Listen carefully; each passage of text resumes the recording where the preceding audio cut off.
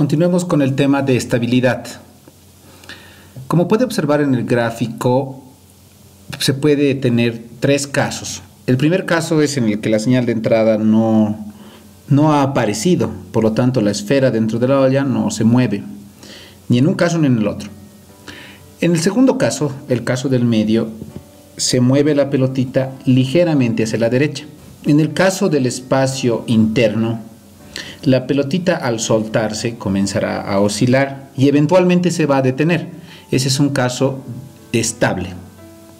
En el otro lado, la esferita encima de este espacio, lo que va a pasar es que si se mueve ligeramente a la derecha, la pelotita ya no regresa a su punto de equilibrio. Por lo tanto, este es un sistema inestable. En el tercer caso, que sería un caso extraño, es que se pondría la pelotita ligeramente hacia la derecha y al soltarla la pelotita no dejaría de moverse. Ese caso también se conoce como inestabilidad. En el de la superficie salida, si la, pelotita se moviera ligeramente a la derecha y comenzaría a oscilar, sería imposible, por lo tanto no existe esa circunstancia. A pesar de que esta explicación parece abstracta, tendrá sentido más adelante. Imagine que tiene un sistema, una caja negra frente a usted. Lo que va a hacer es ingresar una pequeña señal, una señal de entrada. Esta puede ser, por ejemplo, simplemente un pequeño rayo de luz. Entonces, este sistema, esta caja negra, que puede ser un sistema mecánico, eléctrico, acústico, lumínico, calorífico, químico o lo que pueda imaginar, va a recibir esta pequeña entrada. A la salida puede suceder alguna de estas tres cosas. La primera cosa es que usted observa la salida y lo que va a pasar es que efectivamente va a ver que se, se prende el sistema, pero lentamente comienza a apagarse. Eso significa que el sistema es estable. Pero si usted observa a la salida, frente a esta pequeña entrada, que comienza a oscilar entre perderse y apagarse, entre prenderse y apagarse, entre prenderse y apagarse. Pero después de muchísimo tiempo sigue este comportamiento, significa que el sistema es marginalmente estable. Por otro lado, esta caja negra frente a la señal de entrada y usted observa y la señal de salida no deja de crecer, puede que oscile hacia arriba y hacia abajo, pero no deja de crecer, entonces el sistema es inestable. Si observamos desde el punto de vista de la respuesta a un paso unitario, lo que puede pasar es que efectivamente la señal al final se estabiliza tratando de seguir el paso unitario. Ese es el caso estable. En el caso inestable, lo que va a pasar es que la señal de salida comienza a oscilar alrededor del punto de equilibrio del paso unitario. Y si es inestable, simple y llanamente la señal comienza a subir, o comienza a subir solamente exponencialmente, o comienza a subir exponencialmente con oscilaciones. Aquí observamos el mismo ejemplo de la pelotita dentro de una olla. El caso de la estabilidad en la que la pelotita se detiene, el caso de la marginalmente estable en la que la pelotita oscila sin detenerse infinitamente y el caso de la inestabilidad en la que la pelotita se escapa. Hay varias maneras de identificar si un sistema es estable. Uno de ellos es el bounded input y bounded output. Esto lo vamos a resolver con un ejercicio concreto pero dice simplemente que si ingresa una señal bounded, la salida también será bounded. Eso, eso es todo.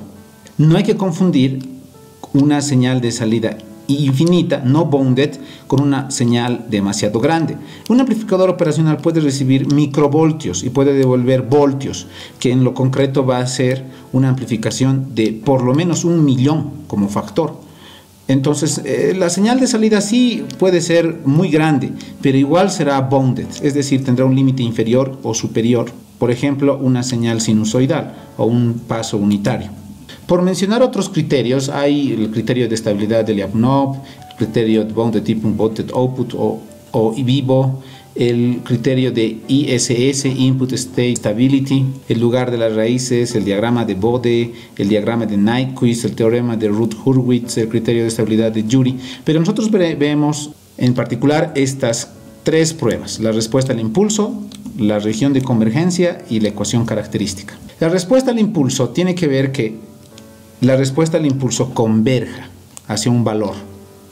Entonces, eh, una vez que se encuentra la respuesta al impulso, lo que se hará es realizar una integral que se conoce como integral absoluta e integra el valor absoluto de la respuesta al impulso de menos infinito hasta infinito.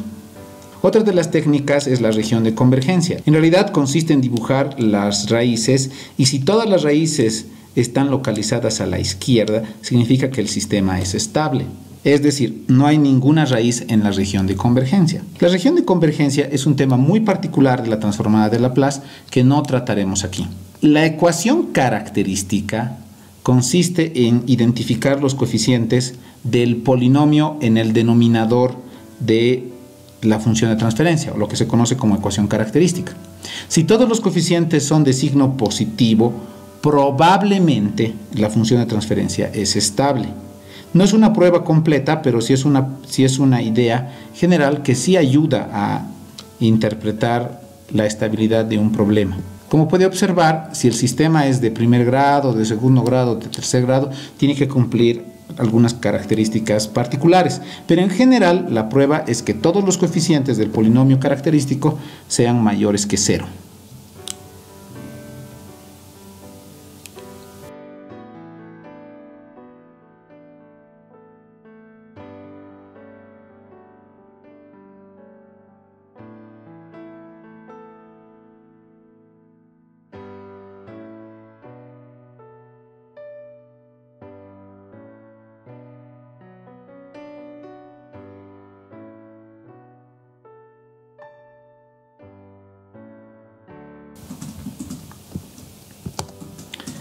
Veamos esto con un ejemplo completo.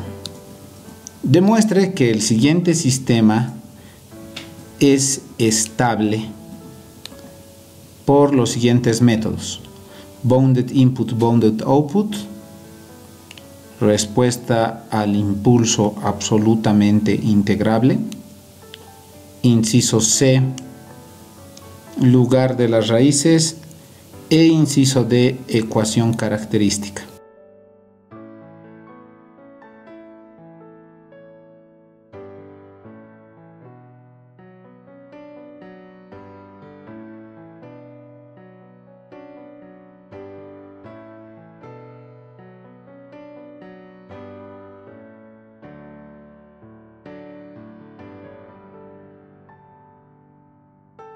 La bounded input, bounded output consiste en que la entrada sea una, una señal limitada. Una señal limitada característica es el paso unitario. Lo que tengo que saber es si, el, si la salida te dará una bounded output también.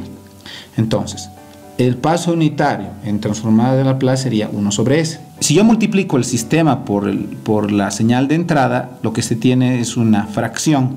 Y esta fracción se resuelve con fracciones parciales encontrando los coeficientes con menos un tercio y un tercio. Si yo reconvierto esta información al dominio del tiempo, encuentro un exponente que decae negativo y un paso unitario. Sumados ambos, les devuelve una señal que se parece a la carga de un capacitor. Lo que me estoy preguntando es si esta señal de salida es bounded y como se puede observar, lo es.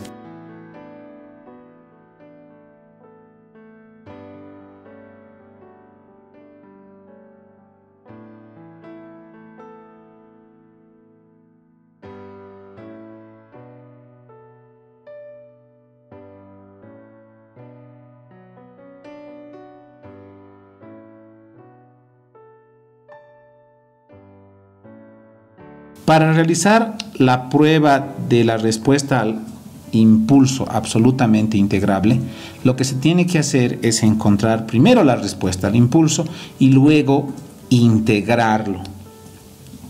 La respuesta al impulso de la función de transferencia que estamos viendo, buscando en tabla, será e a la menos 3t por udt. Si utiliza la definición de esta prueba, tendremos que integrar la respuesta al impulso poniéndola entre valor absoluto. El valor absoluto de una multiplicación es el valor absoluto de cada uno de los términos de la multiplicación. Luego, si se trata de integrar, hay que pensar que el e elevado a menos 3 es siempre positivo y el udt también es siempre positivo, por lo tanto el valor absoluto en realidad no los afecta.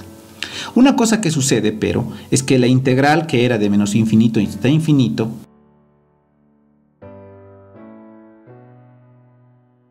se transforma en 0 a infinito, debido a que el paso unitario afecta a esta expresión. El paso unitario hace que la integral solamente sea válida de 0 hasta positivo infinito. Para poder resolver ahora este problema, lo único que hay que hacer es un cambio de variable, luego se puede resolver con facilidad. El cambio de variable sería que u es igual a menos 3t. Haciendo cambio en los límites de la integral se obtiene que el límite inferior es 0 y el límite superior es menos infinito. Y luego, para poder despejar d de t, se deriva la expresión del cambio de variable y se obtiene que d de t será d de u dividido entre menos 3. Resolviendo la integral, se encontrará que es un tercio. Este valor es menor que infinito. Y como este valor es menor que infinito, se puede decir concretamente que el sistema es estable.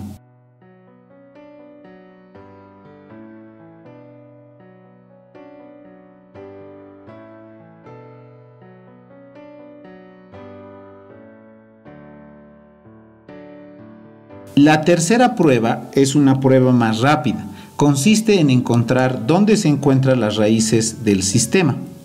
El sistema está conformado por un polinomio en el numerador y por un polinomio en el denominador.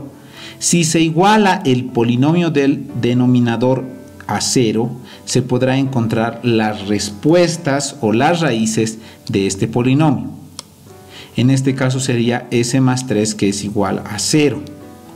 Si se, si se resuelve este problema, resultará que s es igual a menos 3.